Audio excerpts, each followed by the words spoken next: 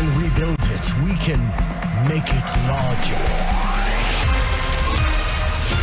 Expansion and improvement plans at LAS presented to the county yesterday. Clark County Department of Aviation hoping to add over two dozen gates in an expanded and improved Terminal One. They're going to build it out to the north end of it as well.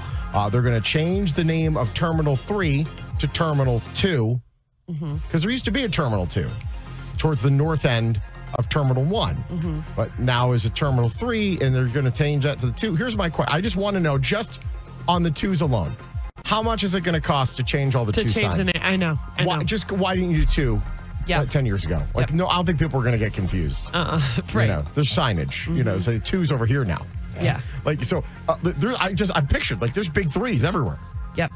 How, this is, I'm telling you, there's a number company in town making millions on this.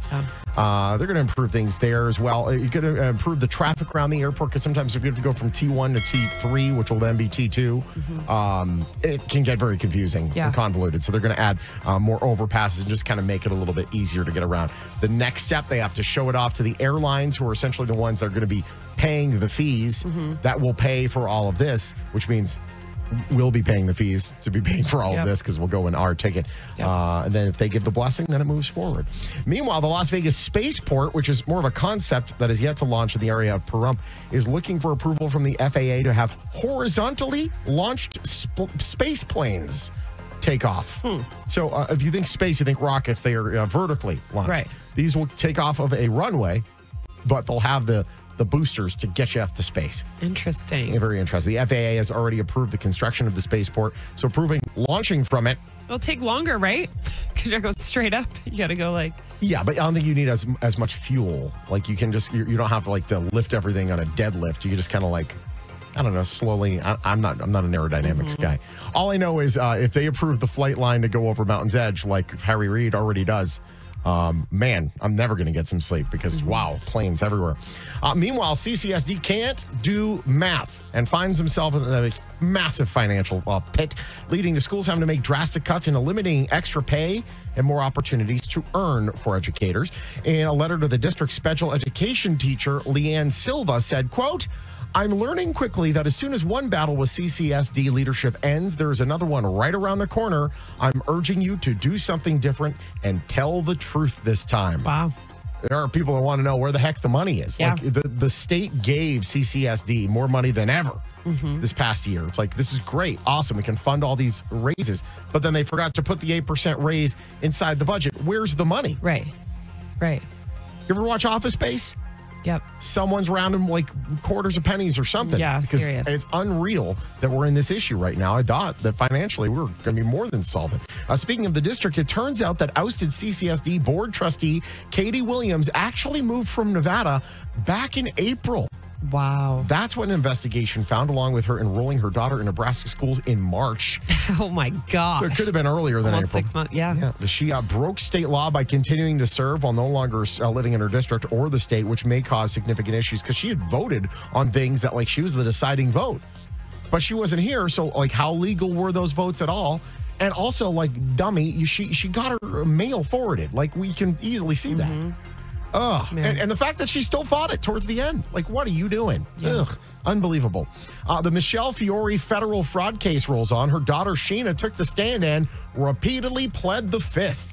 Oh wow. You know, you know what pleading the fifth is, right? Of course. It's like I don't want to incriminate myself. I'd rather uh, not answer that because I feel like that might get me in trouble. Yep. Uh, which, by the way, are you allowed as like a juror to hear that and say, "Oh, well, obviously guilty"? Right.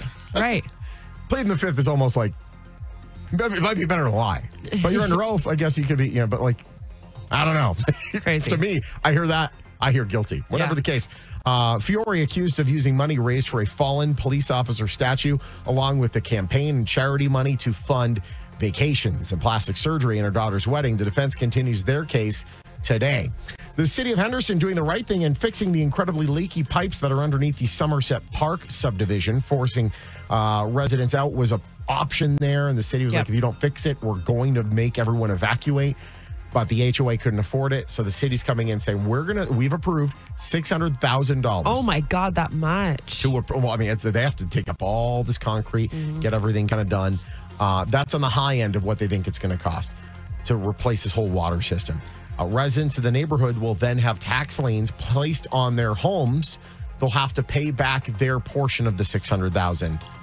I think it's a fair, it's a fair response to everything. It needs to get done. I mean, if you saw how bad the leaks were, sinkhole, a sinkhole opened up. It's Yeah. that bad. So something needed to be done. And this is not good. Raiders star receiver Davante Adams has, according to sources, told the team he'd like to be traded.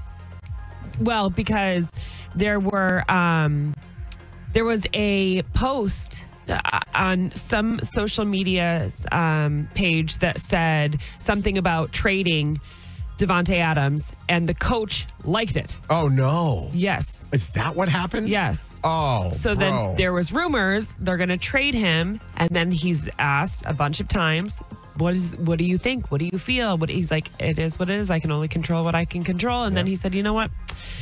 Yeah, just uh, go ahead and and uh, let's let me get traded." Wow, man, Antonio Pierce, I'm shocking. gonna be honest, uh, dumb. He's top five receiver in the league, Yeah. and always has been. Yeah. and you're gonna trade him for a second round draft pick? Antonio Pierce, what are you doing? Oh my Like, I thought I thought Antonio Pierce was a smart decision. He seemed like he was made in the lab for the Raiders. No, that's why I wore the Raiders shirt today because I probably won't wear it anymore. That's a dumb, dumb, dumb decision. Wow, dumb decision. You lost Aimee, guys. Way to go. yeah, so dumb. Want to become a Patriots fan? We suck right now too. No, thank you. All right, that's uh, Las Vegas Aces couldn't come back from a second corner that was Ah. second quarter was brutal. Uh, and they just couldn't come back from it. New York Liberty win 88-84 in game two of the WNBA semifinals. Their backs against the wall, down 2-0. Best of five series returning to Vegas for game three on Friday. They win. They continue in the series. They lose. And they're playing it. some golf. I know. That was sad. There were seven seconds left. They were down two. It's man, So sad. It's I, I, I, we knew this was going to be the tough one. We Yeah. knew it. Vegas Golden Knights, meanwhile, uh, they beat the Avs 6 1, but it was in a preseason match, so we only give one honk of the horn. That's it. There you go. That's all you get. They're going to be coming home for a preseason game against the Avs. That is tomorrow. Las Vegas weather. It is currently 80 degrees. so gross. Wait, uh, today is October 2nd. October 2nd, 80 degrees right now at 624. And it is a high of 102. Aimee